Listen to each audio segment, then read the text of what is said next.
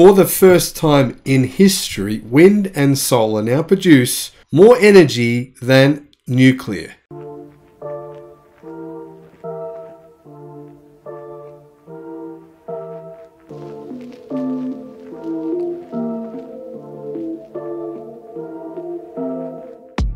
Hello, my friends, and welcome to the channel. I'm the Electric Viking. If you're new to the channel, make sure you subscribe.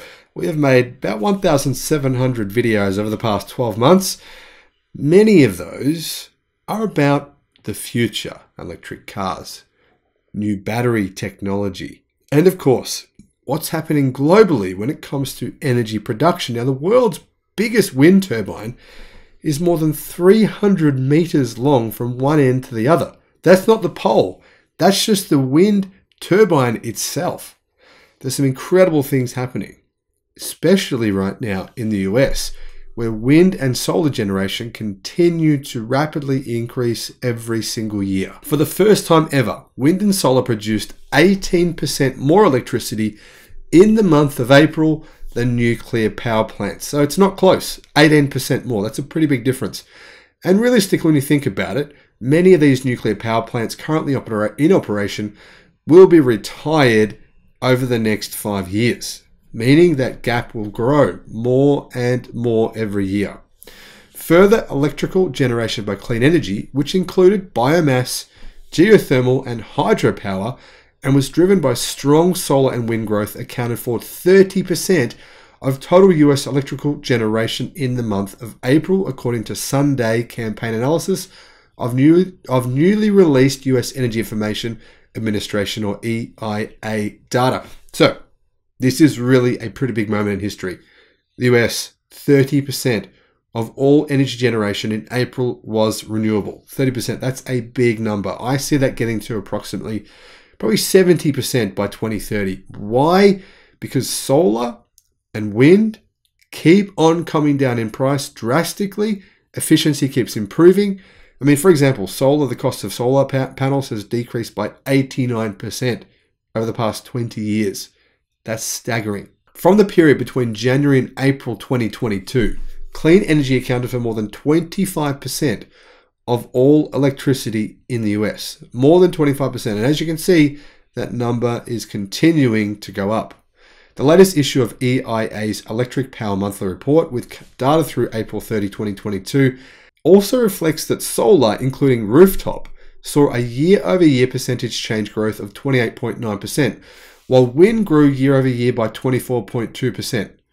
Combined solar and wind grew by 25.4% and accounted for more than one sixth or 17% of US electrical generation, wind at 12.2%, solar at 4.4.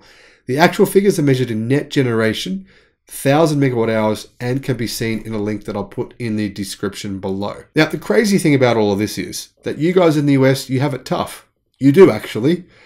As we've been chatting about, discussing the numbers on the Electric Viking Facebook group, something interesting has been pointed out by you guys in the US.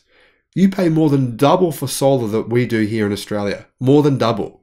In fact, mostly it's around triple the price for solar in the US versus what it is here in Australia, which is crazy. And it's for a range of reasons, including the fact that the Australian government does incentivize solar panels, but still, you guys have incentives on solar there in the US as well. So the gap is so big that no, I, I don't really understand why it's so big. And I'm going to do some research on this to try and find out what exactly is going on. Now, solar deployment here in Australia is happening at a fair bit quicker rate, percentage wise, than it is in the US. And for good reason. It's so cheap here. It's incredibly affordable. In fact, for most people here in Australia, it's an absolute no brainer considering the amount of sun we get here. However, one thing the US has that Australia has less of is hydropower. In the United States, hydropower increased 10% during the first four months of 2022, but wind alone provided 71% more electricity than hydropower. Wind generation is increasing massively. And when it came to fossil fuels, renewables outpace coal, and the electric says that nuclear by 26.1.3% and 37.8% respectively in the first third of 2022. So, renewables are beating both coal and nuclear in the US this year. And it's not some sort of little fad. We're talking about over the entirety of the first four months of this year. In fact, electrical generation by coal declined by 4% compared to the same period in 2021, while nuclear dropped by 1.8%. Now, here's what SUN DAY Campaign's Executive Director Ken Bossong said. Notwithstanding headwinds such as the COVID pandemic, grid access problems, and disruptions in global supply chains, solar and wind remained on a roll. There is no stopping them. Moreover, by surpassing nuclear power by even greater margins, they illustrate the foolishness of trying to revive the soon to retire Diablo Canyon nuclear plant in California and the just retired Palisades reactor in Michigan rather than focusing on accelerating renewables growth, which is the smart economic thing to do. Even if you don't really care about um, pollution or global warming or whatever, which is fine, everyone has their own opinions on that. It doesn't matter. The point is, mathematically, it's so much more affordable and logical to install new solar or wind generation than it is to try and keep these old coal power plants running. I mean, for example, to give you a context of where coal is going, the five largest coal companies in the United States have all gone bankrupt within the last decade. So, yeah, there's no real future for coal.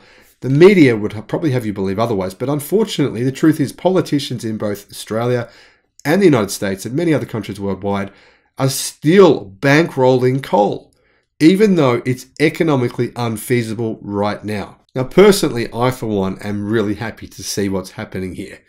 Solar and wind are kicking the butt of nuclear and coal. And this trend is only going to get faster and faster and faster, especially with the fact that battery energy storage is coming down, which can support the generation, right? Now here what here's what happens right now. Solar gives us energy during the day. Wind gives us some energy during the day, but a lot at night because the wind actually blows harder at night than what it does during the day. And then, of course, sometimes there's not quite enough sun. We don't need sun for solar generation.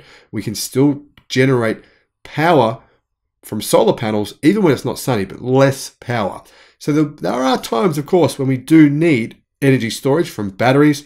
And thanks to the cost of batteries continuing to come down, in particular lithium iron phosphate batteries, that means that the whole system of having battery storage, solar, and wind complement each other is only going to start replacing these, um, you know, these old technologies. Nuclear, it's old. Coal, it's old old school, those technologies are not getting any cheaper. They're being replaced.